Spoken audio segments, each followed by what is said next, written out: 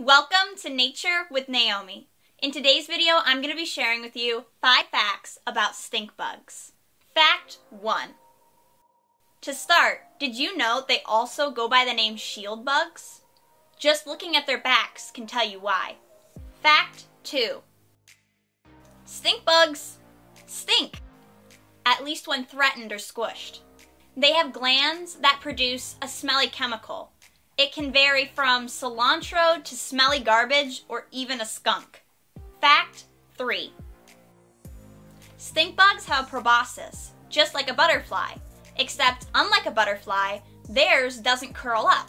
Instead, it stays on the underside of their bodies. Fact 4.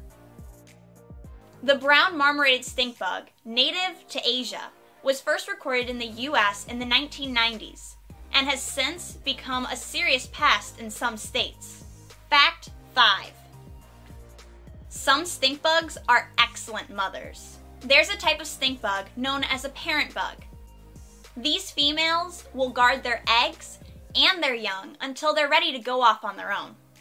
Wow. No matter what creation it is, God always seems to blow me away by his amazing designs. What was the craziest fact you learned? Feel free to share it in the comments below. Hit the like and subscribe button if you want to see more videos like this.